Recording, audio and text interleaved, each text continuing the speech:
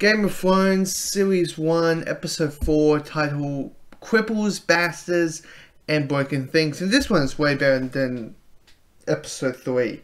This is way better. This episode has shit happening. Uh, interesting conversations are happening. I mean, when we have Darius, finally I said it, Darius's uh, brother talking about dragons and what happened to them and how they got extinct and what people would do with them and how he got his name.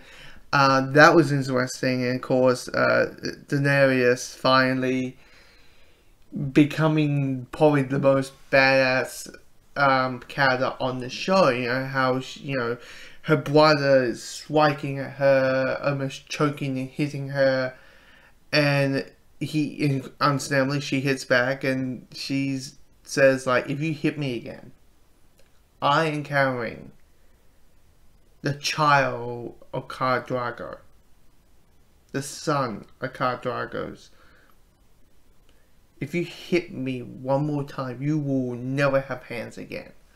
And when that happened, I was like, yes, yes, yes, yes. I was screaming with the top of my lungs that she is officially the most badass character on the show.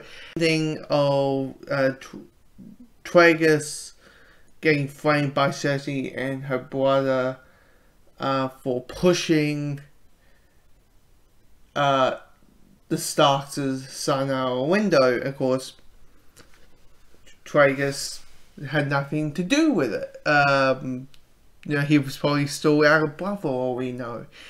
Um, and of course, we are introduced to our new character, Sam. And Sam is this coward guy. Who shows up on the wall. Um, and he is fat, he's getting picked on, and to the point we are questioning ourselves.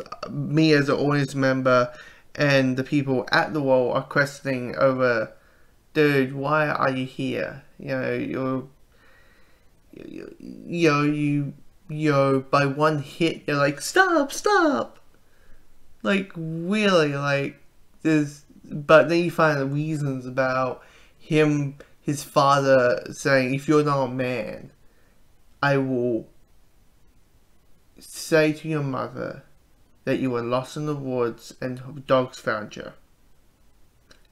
And that's what I'm going to tell your mother because frankly, I'm going to kill you. Um, I know what you got because you're not a man. So he goes to the wall to maybe prove himself as a man or there's a, a no place to go scenario. Um, that scene was nice. But I, I'm just plot, uh, just pleased that there's an episode of Game of Thrones after uh, episode three that shit was happening, and uh, I think it did kind of need to be like nine episodes, maybe eight if there's another episode that's like, God, nothing's happening. Um,